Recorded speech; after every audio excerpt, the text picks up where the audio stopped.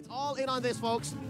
Yu Zhong dusts himself off to come back for game five in the decider. Who moves on through the upper bracket? Falcons AP Bren or Blacklist International? We are just a few moments away from the game beginning.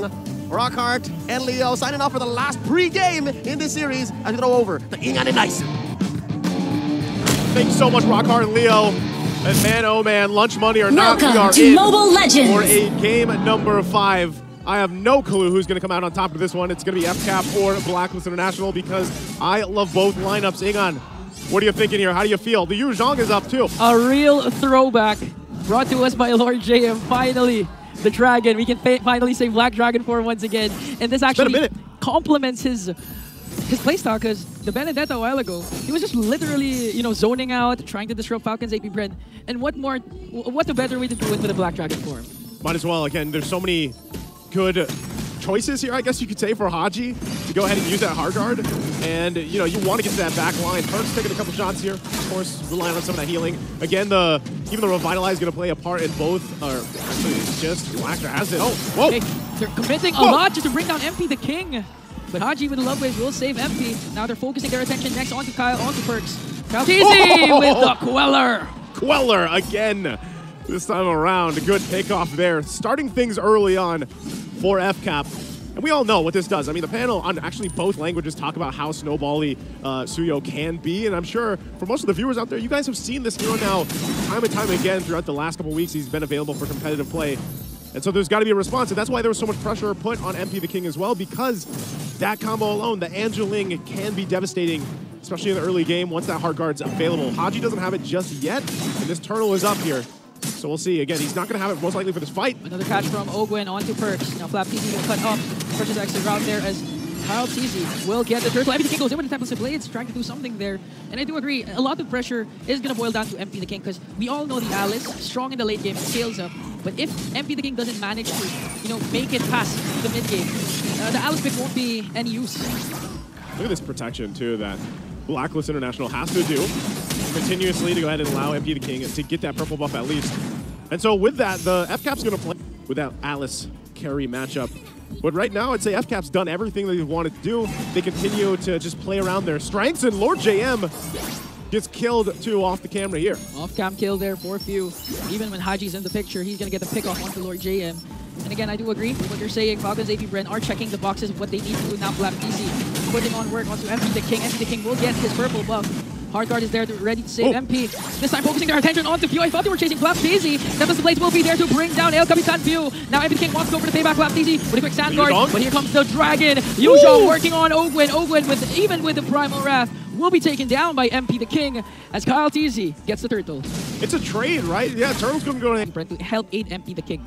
Like, look, look at this. Look at this setup here. Just whenever the purple buff is up, Blacklist knows, all right, we get in position, protect purple. Let MP the King continue to go ahead and farm up, scale up the way he needs to be. He hasn't gone down yet, so for the most part, Blacklist is fine. It's just, you know, if they go three for three for Turtles for FCAP, that's not the end of the world here for Blacklist. They can still go in, even when it comes down to the Lord fights, and hope that by that time, Oheb is where he needs to be. Again, he's still working, I think, on that second item. He did have that Conquer Destiny pretty early on. I think he rushed it. But eventually, your lineup starts to shine towards the later portion of the game here for Blacklist. Right now, though, it looks like they want to go ahead and contest this. Baptiste for the front side. Owgwen will join this too, at least forcing them back. Here we go. Okay. They're gonna pick on Perks. Perks forces these to revitalize. MP King goes in. Plus the hard guard. Here comes Tempest to play the dragon as well. A lot of ultimates being casted. No precise target yet, but Owen will fall down and have the five members of Blacklist preventing Falcons AP Bren from going for the turtle. They stop that for now. Owgwen goes down, but Blacklist still has a lot It's a of... good test for that Lord. Okay, Lord is up here, but as we saw, Purple Buff was taken with that retri retribution from KyleTzy. So they'll start things up. Good push into that tier one on the bottom side. Now they'll work on it. Half health on the Lord right now. Perks dealing with it. There's a good seal. Okay, MP King goes in with the Tempest of Blades. That's the hard guard, but they got perked it down. Super Marco also goes down. Here comes the Black Dragon form. Has to retreat though as Perks trying to soak up the damage, but cannot out sustain. The damage of Falcons AP Bren counterattack coming in from Blacklist as they bring down Flab and Owgwen. Oheb has been activated, but a triple kill from KyleTzy. Flowing blood just to escape. A 3 for 4 trade. Falcons AP Bren gets four agents and might be able to take this Lord away. Yeah, Oheb's not going to do that. Not against with KyleTzy there. And you to help him out with the utility. So that is a Lord secured here for FCAP. You can see it though. Blacklist High uh, contention rate each and every time as the Falcons AP Bren here. making use of their lord. They, they want to go and pop the energy shields of Blacklist. Blacklist makes quick work of the lord, saving all their inhibitor turrets so far.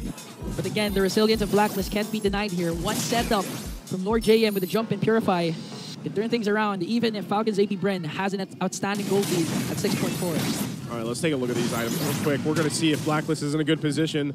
You know, Oheb's down a little bit, but you saw that he did pump out some damage. He's got a Holy Crystal Starlium Scythe now to jump in. They use the Avatar of the Guardian a little bit later, the Heart Guard on Oheb to kind of sustain that fight because of where he is, even itemization-wise. So those are those extended fights might come out helping Blacklist with their lineup, but if they don't get to the later portion of the game, it's going to be difficult for them to do it. So FCAP, with this lead, their items really locked in. They'll start up this next Lord here. Sawtooth Winner's Crown was picked up by Oheb, so that could play a part if he jumps in the Blood Ode, Blood Ode and everything else, even with a hard Guard or not. Okay, MP the King just waiting patiently for a perfect opportunity to strike. Hadji as well, managing the bottom lane. Uh, Ultimate of Hadji is ready to be expended. Quarter of health here. Both teams still kind of feeling this out. It's going to go for a reset. And this is exactly why I was saying FCAP will respect what Blacklist can do. They're pushing Oh, it. A fake reset, a joke. Falcons AP Bren gets the Lord. Fortunately for Blacklist, even though they don't have a trade, they're not going to lose anyone though, as Falcons AP Bren works on trying to get the purple buff away from MP. MP still has his red tree, and he's going to secure a purple buff for this potential defense. Let's think about the defense here. Okay. Hang on. Can a Blacklist, do they actually have a good defensive lineup with this? I mean, this is not your traditional marksman. It's also not a Harith, which we see so often. Yeah. It's an Alice, right? Your, your Alice is here. You should relatively be able to clear waves out, but the problem is, in, in certain cases, you're also going to have to be using those ultimates to help clear things out. The Lord in the mid lane, these waves are, they're lined up, they're managed really well here. FCAP wants to get these base turrets down. You're 15 minutes in, you've got a 7,000 gold lead. Blacklist is on the defense. What can they do but watch the turrets be taken down? Mid lane turret about to fall down as well as the bottom lane turret of Blacklist desperately trying to work on this Lord. Q just continuing to spam out the Lantern Flare. Let's see if they're going to be able to pick someone up. Blacklist makes quick work of this Lord. Still saving their bottom lane inhibitor turret. And Falcons AP Bren again displaying discipline, but opening the seal. Okay, let's see. If gonna initiate, okay, forcing out Lord James, Black Dragon form, everything goes in with the hard guard as well. Onto Super Marco, Oh. they tried to go for bulletproof. Let's see if he's gonna fall down, but they managed to Super bring Marco. down the dragon. Super Marco stays alive. Now they're working on Oheb. An immortality pop by Owen with their drop play coming in from Oheb. Might- They, they might be able to take him down. Oh my god, oh. the Perks Shatter Flicker combination! Bringing down the Filipino sniper! AOJ from Perks just to walk away. Oh, man. They have minions onto the top. They have minions onto the mid lane. Falcons AP Bren on the verge of winning this game. Falcons AP Bren breaks the momentum of the code and soars forward to the upper bracket finals. And FCAP will make it happen. Respecting what Blacklist International did, and they brought up to game five.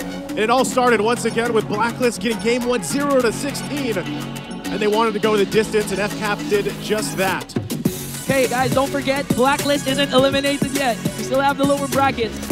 And this time they showed their perseverance, really forcing, pushing the defending world champions to their limits. Five games. Five games. Five games, I see. Defending world champions. This is not the Blacklist International that you saw in the regular season, ladies and gentlemen. Maybe hints of it, but this is definitely playoff Blacklist. And as they take their bow here for this series, again, they're still looking for that opportunity later on in the lower bracket.